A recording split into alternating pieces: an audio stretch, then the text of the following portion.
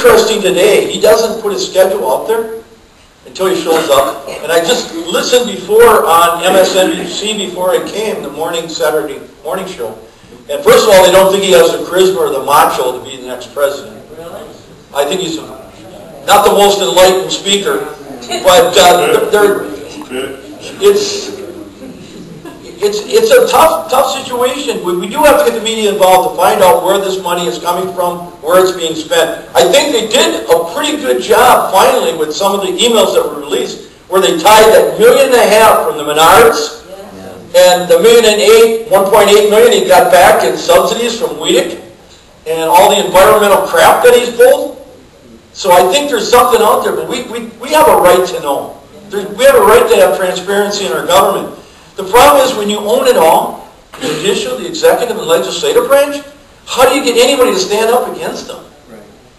You know, we do it all the time. And my, I have to give my colleague in crime, one of my former employees, Eric Genrich's doing all the time. He had a great editorial in the paper this week, and I had a great editorial in the paper a couple weeks ago. They are doing that.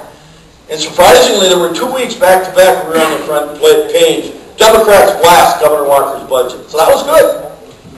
I have more confidence in the Appleton Post Crescent than the Press Gazette. They've done a better job.